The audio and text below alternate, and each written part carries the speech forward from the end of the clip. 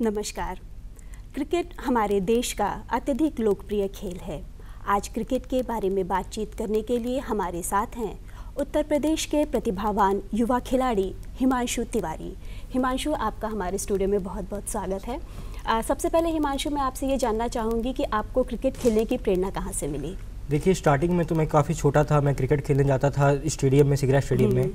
और उसके पहले मैं पहले एक साल में हॉकी खेलता था क्योंकि पहले मैं घर पे खेलता था तो फिर पेरेंट्स ने मुझे कहा कि अब क्रिकेट और मतलब किसी स्पोर्ट्स में जाना है हम्म। तो अच्छे से किसी स्पोर्ट्स में आप ट्रेनिंग लीजिए और उसमें आप अपना लाइन बनाइए हम्म। तो पहले तो मैं हॉकी खेलने के लिए यूपी कॉलेज है यहाँ पर मैं वहाँ जाता था क्रिकेट हॉकी खेलने के लिए और स्टार्टिंग में मैं वहाँ खेलता था कुछ दिन खेला तो उसके बाद एक गौरव सिंह नाम के प्लेयर थे वो डी में इस समय कार्यरत हैं वहीं पे उन्होंने जॉब क्रिकेट और हॉकी से उन्होंने आपको प्रोत्साहित किया। हाँ उन्होंने मुझे कहा कि मेरा बॉडी लैंग्वेज जो है वो हॉकी हम्म। नहीं क्रिकेट के लिए काफ़ी अच्छा रहेगा। तो हम्म। मैं क्रिकेट में अपने आप को जानने के लिए और समझने के लिए मैं मेरे फादर ने मुझे सिगरा स्टेडियम में मेरा क्रिकेट में एक एडमिशन करा दिया। हम्म।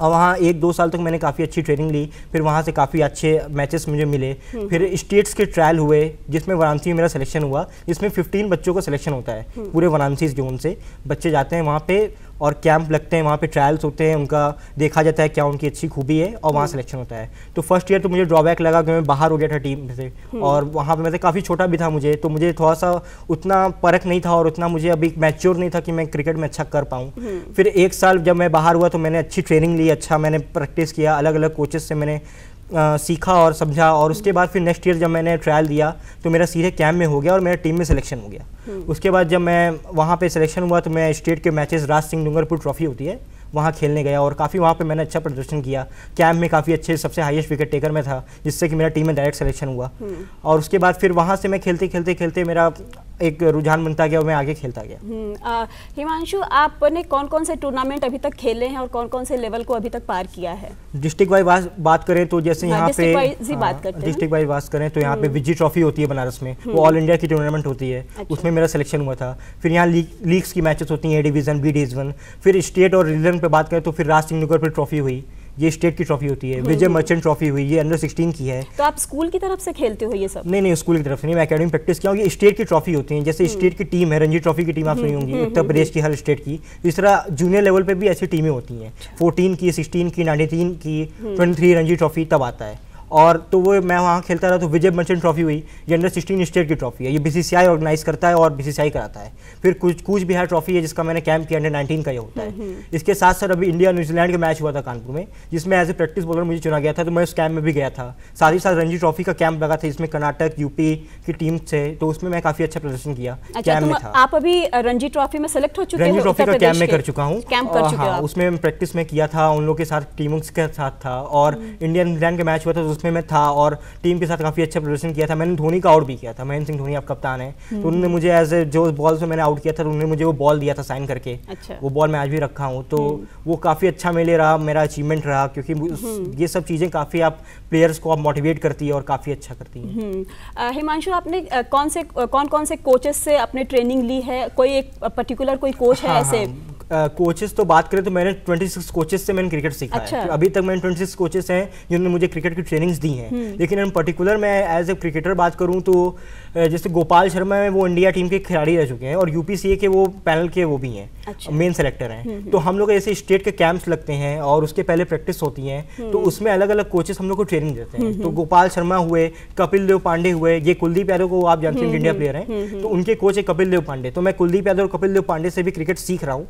और उन्होंने मुझे काफ़ी अच्छा प्रोत्साहन दिया। है चाइना मैन केवल कुलदीप यादव उस समय तो चाइना मैन में सीख रहा हूँ और स्टेट में इस समय हो सकता है मैं इस साल चाइना मैन बदल बन के उभरूँ और चाइना मैन में अच्छा करूँ तो अच्छा। तो कल्पिल पांडे मेन हो गए इन्होंने मुझे अच्छा ट्रेनिंग दिया है गोपाल शर्मा साथ ही साथ हैं जो बॉलर हम्म। हैं काफ़ी अच्छे खासी आप बात करेंगे रणजी ट्रॉफी कोच है मृत्युंजय त्रिपाठी जिन्होंने मुझे बैटिंग में काफ़ी अच्छा प्रोत्साहन दिया है अच्छा। अच्छी टेक्निक सिखाई है तो, तो आप ये सिगरा स्टेडियम में ही आप ये ट्रेनिंग लेते हैं नहीं नहीं सिगरा स्टेडियम नहीं जैसे कानपुर हुआ बैंगलोर हुआ अलग अलग जगह जाके हम लोग का कैंप लगता है हाँ वहाँ पे मैं जाता हूँ वहाँ ट्रेनिंग लेता हूँ अच्छे के अकेडमी जितनी भी है हम्म, वहाँ पे हम्म। मुझे बुलाया जाता है और वहाँ हम लोग के कैंप लगते हैं बाकायदे और वहाँ हम लोग को सिखाया जाता है काफ़ी अच्छा। अच्छा। हिमांशु अभी अभी तक आपको कौन कौन से अवार्ड मिल चुके हैं?